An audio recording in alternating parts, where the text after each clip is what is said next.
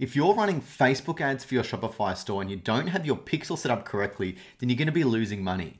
What the pixel does is it tracks every movement on your Shopify store, from your add to cart to the page views to the checkouts, right through to the conversions. And then it sends that data straight back into Facebook so that Facebook can optimize its ads and improve the algorithm to get you the best results possible.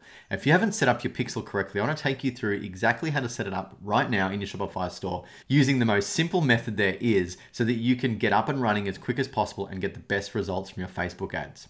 Now, if you are interested in doing Facebook ads properly for your Shopify store, I did create a video on exactly how I'm running Facebook ads on my Shopify store using AI and we're getting amazing results. Sometimes we're even getting a ROAS of up to 38 on our ads. So let's jump into a test Shopify store now. I'm gonna take you through exactly how to set up this pixel. As we know, Shopify relies heavily on apps and things called sales channels. Now, Facebook is basically a sales channel within Shopify. So what we're gonna do is we're gonna add a new app. We're gonna click over to apps, we're gonna click app, and we're gonna click all recommended apps. This is gonna open up the Shopify App Store.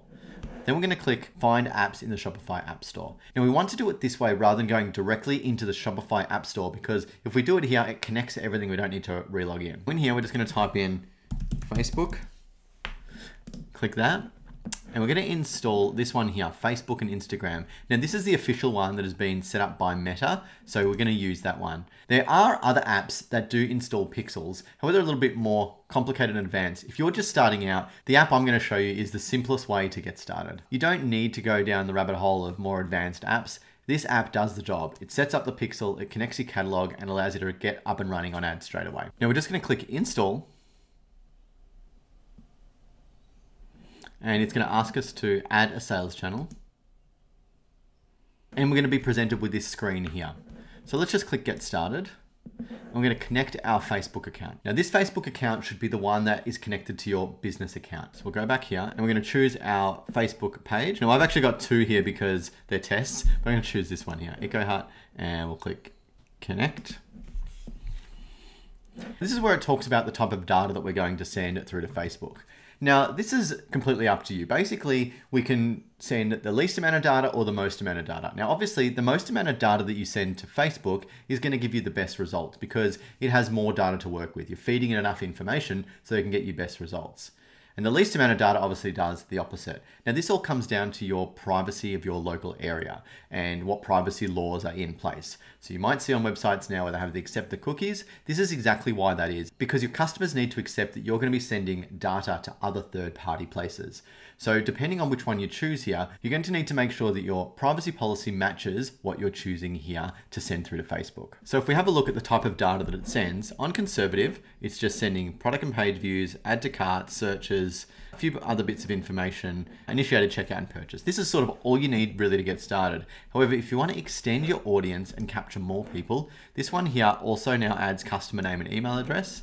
And if we look at maximum, it adds in customer name, email, phone number, and address. Okay, so it does add more information. It allows the algorithm to find more people like the people that buy from you. Now, I do have my privacy policy updated, so let's just click save. Okay, great. And so now what we're going to do is create a pixel. I've got a couple of pixels here as they're all tests, but what we want to do is click create meta pixel. So we're going to click create new and it's calling it this. It's one of my business names. we click confirm We're going to agree to the terms and conditions and we're going to submit for review. So what's happening now is it's putting a piece of code on your website that tracks everything that happens when someone visits your store, whether they view a page, whether they click add to cart, whether they get to the checkout, whether they make a purchase. And then what that's doing is that's sending that back to Facebook and sending them that information. It even sends through the value. So if someone buys something from you for $100, it sends that value back through to Facebook for $100. And that means you can start to see what your return on ad spend is.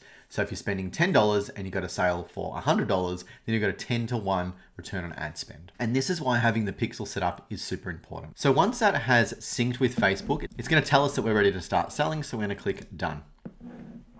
Now this is the next part that we want to make sure that works. And it's basically saying that we can send our products now through to Facebook and Instagram so that we can create carousels and we can create product ads. We can tag products on our photos. So what we want to do is head over to our products and open one of these products here. And what you're going to see over on the right hand side is what we call sales channels. Now, if you remember when we installed this app, it was called a sales channel because this is a channel that we can sell our products through. So this is where we go in and we say, do we want to sell it on Facebook or do we not want to sell it on Facebook or Instagram or any of Meta's properties? So in order to do that, we click in here and we click manage sales channels and we can actually tick on and off the ones that we want to sell. Now mine was already on, uh, yours may already be on depending whether you've had this set up. It may be that I had it set up before, but you want to make sure that it's all checked on. Now my one is. And what that's telling Facebook is that we're willing to send this product and all its details, its images, its price, its everything straight through to Facebook so we can tag it and advertise it in the ads. Now that that's installed, we want to check that it actually works. So let's go into the Facebook Business Manager now, have a look at what it's installed for us, and then we'll have a look to see whether or not it's working. So we're going to head over to the Facebook Business Manager. Now, once we're in the Facebook Business Manager, we're going to click Data Sources and we're going to click Pixels. Now we can see we've got two set up here. This was one that I was testing before. This is the one that we've got here. Now to check that it is the right one, we're gonna have a look at this number here and we're gonna see that it works. So we're gonna pop back to Facebook and have a look. And we're going to go back to sales channels. We're gonna choose Facebook and Instagram.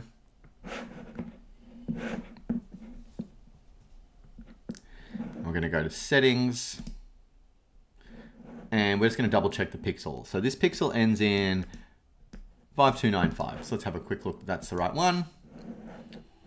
And we can see this one ends in 5295. So that's awesome. So now what we're going to do is we're going to open the events manager. And this is going to tell us whether or not the events are working correctly. So we can see that our pixel hasn't tracked any recent activity. So we're going to change this to today. And we're now going to go to my store and we're going to force some events on it.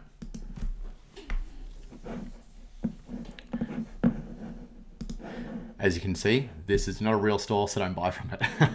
All right, let's go through and we will click this one here and just go through and do a few things. You can see we use this to test and do a lot of training on. Click add to cart and we'll go view my cart.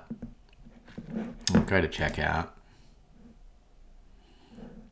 And now we're going to pop back to the events manager and see if we can see anything.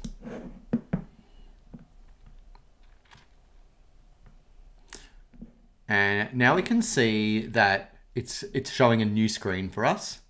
So the pixel data hasn't come through yet. This can take a little bit of time. So maybe we'll do another test and see whether or not it works running Facebook's test method. So we do that by clicking test events. Now it says test browser events. And then we're gonna click around a little bit and see whether or not the events come back. Add to cart. And then we'll pop back over to events manager and we can see these events are now working. So this is working really, really well. You can see we've got add to cart, page view, view content. Let's see if it does, it gets us to the checkout. Let's get to the checkout. And let's go back to the events manager, initiate checkout. Awesome. So that's pretty much it, guys. Really super simple way to set up Facebook ads. We just install the Facebook sales channel, we make sure we connect it to our business page, and we pop into Facebook to make sure that it's actually working on our store. Guys, if you found this useful, I'd love to hear down below what you found useful. If you want to learn how to set up Facebook ads properly, check out this video here on how to set up Facebook ads, the most efficient way to get you the best results and the quickest way to set them up. Uh, it's a great video. It's what we use in our stores and it has some killer information in there.